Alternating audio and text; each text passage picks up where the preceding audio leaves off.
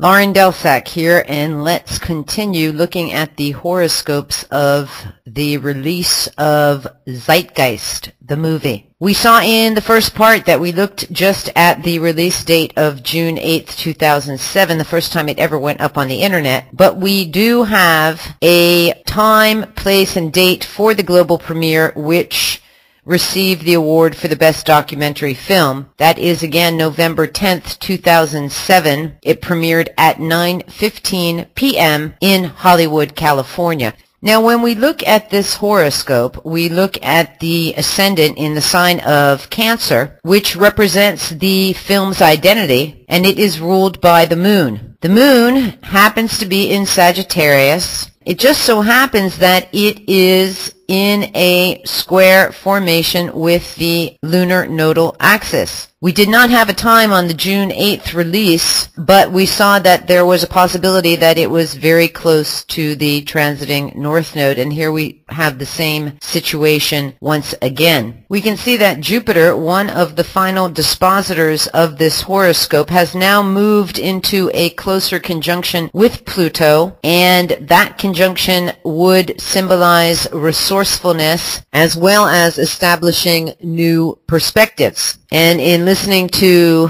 radio interviews with Peter Joseph, the producer of the film, he speaks about how identity relies on belief systems. This film is about shattering belief systems, shattering perceptions, also in relation to the government. So perceptions, government ruled by Pluto, Jupiter as a final dispositor in the sign of Sagittarius, it just seems to be that that's what it's all about, this film. We also see that Neptune in the eighth house, everything to do with the occult, things that are hidden. Interesting that Neptune in Aquarius with the mutual reception of Uranus in Pisces, we get this sense of revolution. The film actually ends with that word, if I remember correctly, and bringing in this Neptune Piscean theme of everything to do with the spiritual. Interesting that Uranus sits in the ninth house of publishing, internationalism. Neptune in the eighth of the occult is square the Scorpio sun. There is a sense here of an energy that needs to get to the bottom of it all, but to uncover knowledge perhaps.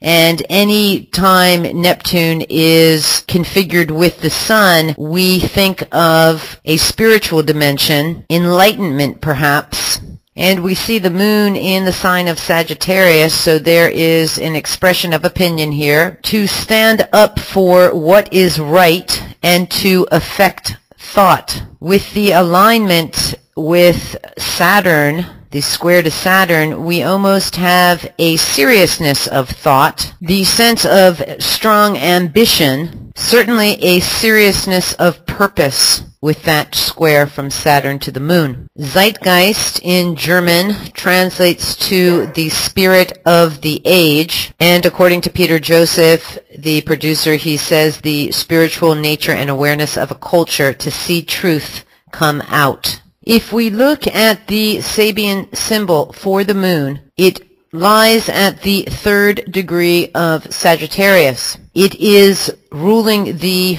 movie's identity. So the motive for this degree pair, again referring to Blain Bovee's book, The Sabian Symbols and Astrological Analysis, the motive is rules and revolution, maintaining order or testing the rule. Three Gemini lies at the Garden of the Tuileries, and three Sagittarius, two men playing chess. In Blain's book, he explains the game of chess with the words the origin of the words chess, check, and tile. Protect and detect, cover and uncover, derive from the same strategic and architectural know-how, the technical skill to build, cover, and weave. Chess is a highly skilled game with definite rules, defining the moves of the 32 chessmen. Played according to the rules, the chess game calls for intelligence, strategy, and creativity. A breakdown of the rule of order would be like the chessmen getting up and telling you where to go. A revolution Revolution is the refusal to follow the rules of the game, tearing down the king's palace, but leaving the gardens open and available to all. Apply this degree pair with a mind to test, overthrow, or uncover the real rules of the game. Look for the rules that maintain order, vestiges of a cultural past that inspire new moves, personal strategies that aim for checkmate in political endgames. Be aware of sacrificing pawns for a kingdom, secret agendas, social ideals outside of the law, feeling hemmed in by imposed constraints. Consider secret communities that blend in, a knack for detecting flaws in how things work. If you've seen the movie, I don't need to explain that further. Now, I am just fascinated with the draconic chart calculated off of this chart. If you're not familiar with draconic astrology, please watch my videos on that subject. Let's think in terms of looking at the true identity or the soul's identity of Zeitgeist. The draconic moon falls at the 30th degree of Sagittarius, the final degree of Sagittarius. The Sabian symbol is the Pope, coupled with 30 Gemini bathing beauties. Again from Blain's book. Bathing beauties is an image suggesting a public display of beauty with the intention of being seen. Bathing is an act of cleansing, such as washing in water, hence the beauties may be nude, free from all artifice. The Pope is an image of the human and worldly representative of the divine. The head of the Roman Catholic Church, the sovereign or supreme pontiff. To pontificate is to pronounce dogmatically with an attitude that may be in lesser morals pompous. Infallibility suggests a genius for speech or action that is sure to succeed. Apply this degree pair with a mind to the ancient sense of audience, a hearing, the importance of seeing and being seen. Think of gathered assemblies of listeners or spectators where what is heard and seen brings joy and happiness. Consider a sense of raw, naked, and open exposure. Radiant moments of recognition and appreciation. Let's look at the draconic on the outer wheel, the natal on the inner wheel. The synastry is just amazing.